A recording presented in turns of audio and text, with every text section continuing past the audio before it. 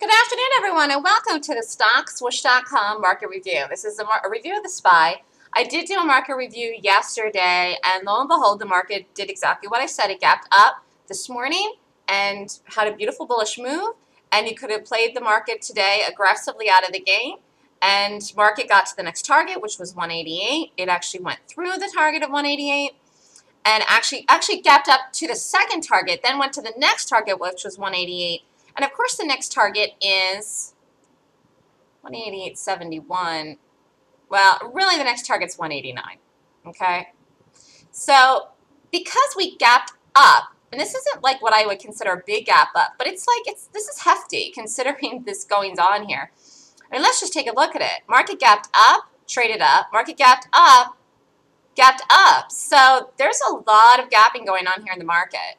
That's why these bars look condensed, even though this is crazy bullish, it doesn't show in the actual bodies because it's happening really in the gaps and then the fast moves in here, like that happened here on the morning of the Friday and then the morning of today. So it's kind of, if you don't look at the intraday, if you're not looking at the intraday to see this bullish movements that's going on in here, or if you're not reading the gaps, you're, you're kind of missing the boat here because it's actually very bullish.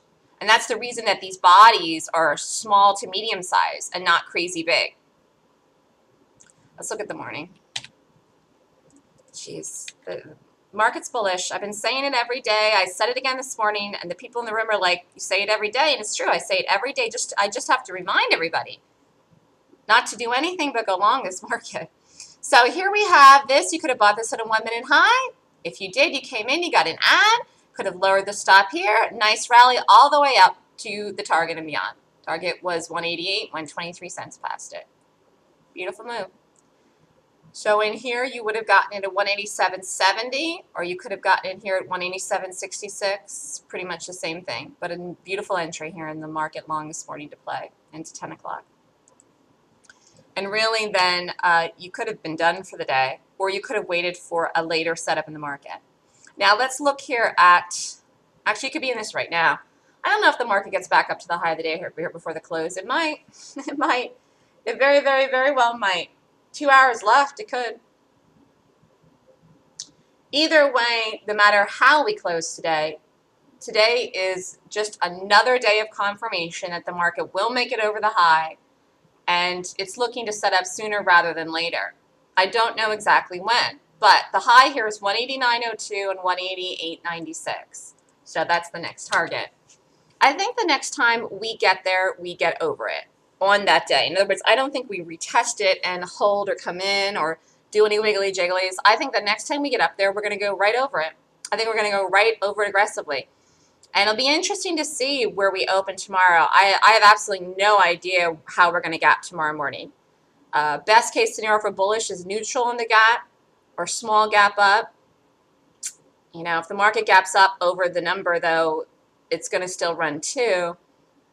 If we gap down, I have to see the number. I, I, is interesting here how we are have been traded to this area. I, I don't know how we're going to open tomorrow morning or where we're going to gap in the pre-market, but I did call this gap up today. It did it. And I called that we're going to get over the highs. I called it the whole last month when we were coming in and people thought we were making the double tops, which you know, is not going to hold. So what's going to take place when we get over this area is a couple of things. One, shorts are going to get stopped out. And smart shorts, although really this was never a smart trade to do short, but let's just say people that realize they made a mistake, should never have shorted this market, will exit their short trade here at, the, at where their paper stop should be at 189. So there will be short covering, which will create green. Then the next thing that's going to happen is this is an entry for some people that are watching it who don't know if it's going to get over the high, who don't know how to read charts and price and gaps like me, and they will say, you know what, I'm getting in this long if it goes, it goes over here. So then new entries will come into the market at 189. That would be an entry for some people. At least you're ready to be in this long if you want to be in it. The other thing that will happen is the actual people that are lifting the market, the power buying, the power of money, the money that's lifting the market will will is going to make the move over the area, up to the area and beyond. And so that's already going to be in full force. So that's going to be driving it. It's the driver. That's the driver. And then the blowout is going to happen with the shorts getting stopped out and the new buyers coming in at that number. So the next time we get over the high, it's going to be an aggressive move with a large fat green bar and a rally that could last for five solid days. I mean, I think the rally over this high is going to be massive. It's going to be a big green bar, which we haven't had in here, and I think it's going to be a continuation that could go for five days. Three to five days of green bullishness, just straight up, up to the moon. So everybody that's short in here or killed their longs are going to miss this payday here over the high. And I've been calling this long for all this whole time.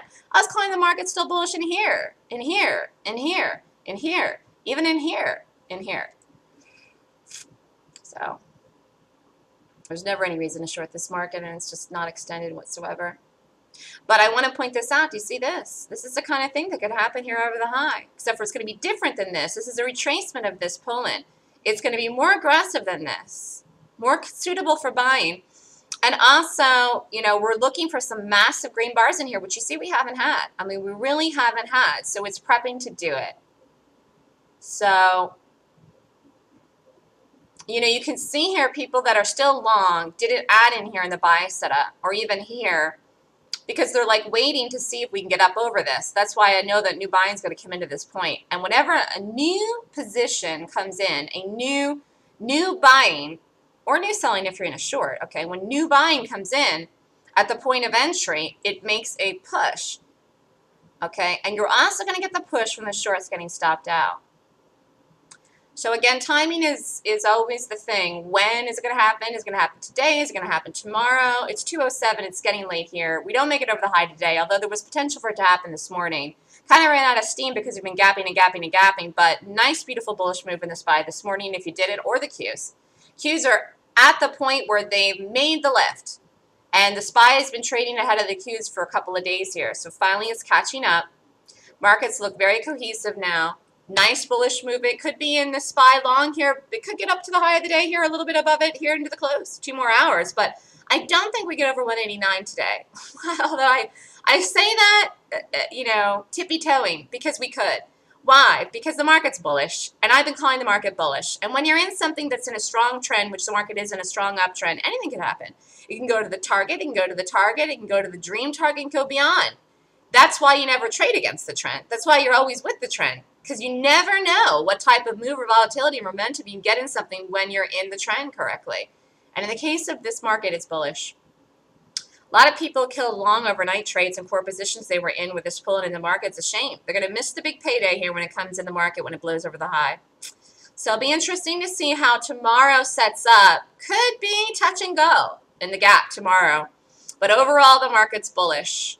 Look for it to get over 189. The next target, target is 190. And I really don't have any targets after that. We'll just kind of see how it comes. But definitely 190 is in sight.